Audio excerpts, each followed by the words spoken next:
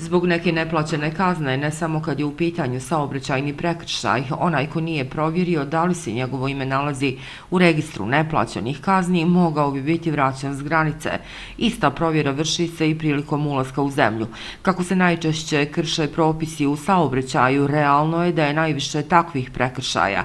Međutim, ima i drugih. Ako neko ne plati račun za struju ili se računi nagomilaju ili između ostalog da je podnesena prekršajna prijava zbog nelegalnog broja brojila. Radi se sprovodnica do područne policijske uprave, recimo dešavalo se da ljudi iz Novog pazara koji se vraćaju iz Nemačke da budu zaustavljeni na granici zbog neplaćenog računa za struju ili zbog nelegalnog strujomera, a, od, gde su kazne po neki 120.000 dinara ili veće, da bude sproveden do Novog pazara i on ne samo što plaća novčanu kaznu, nego mora da plati kompletne troškove njegovog sprovođenja, vođenja postupka i svega ostalog. Postoje načini kako da se neugodna situacija prevaziđe na licu mjesta, mada tu nije kraj. Postoje nekoliko mogućnosti za prevazilaženje tog problema.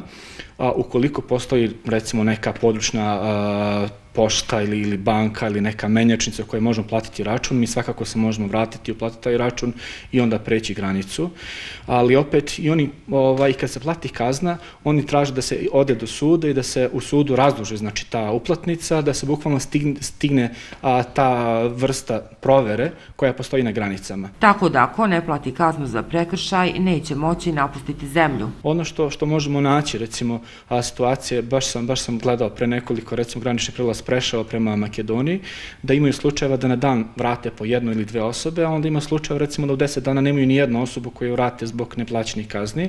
Eto, ja sam a, svedok a, jednu situaciju kad sam putovao za, za Nemačku pre jednu godinu dana, da su jednog mladića vratili zbog neplaćene kazne za, za vezivanje pojasa, koji nije platio znači u odgovarajućem vremenskom periodu i naravno to zbog te neplaćene kazne morao je a, mora da ostane, znači da se vrati i naravno da plati novčanu kaznu da bi mogao da pređe ovaj granicu. Građani mogu izvršiti provjeru jednostavnim pristupom registru neplaćenih novčanih kazni dostupnom preko Ministarstva pravde, jednostavnim unosom imena, prezimena i jedinstvenog matičnog broja. Možemo da provjerimo za sebe, naravno možemo da provjerimo i za druge, ali uvijek postoji opasnost jer korišćenje truđi podataka također predstavlja krivično delo i za to je predveđena a, krivična sankcija, odnosno novčana kazna u iznosu 50.000 dinara. Stoga poručuje, ukoliko se krene na daleki put ili uopšte ako se izlazi iz zemlje, prethodno treba provjeriti da li se ime nalazi u registru neplaćenih kazni i naravno isključivo samo za sebe jer bi u suprotnom moglo dodatno koštati.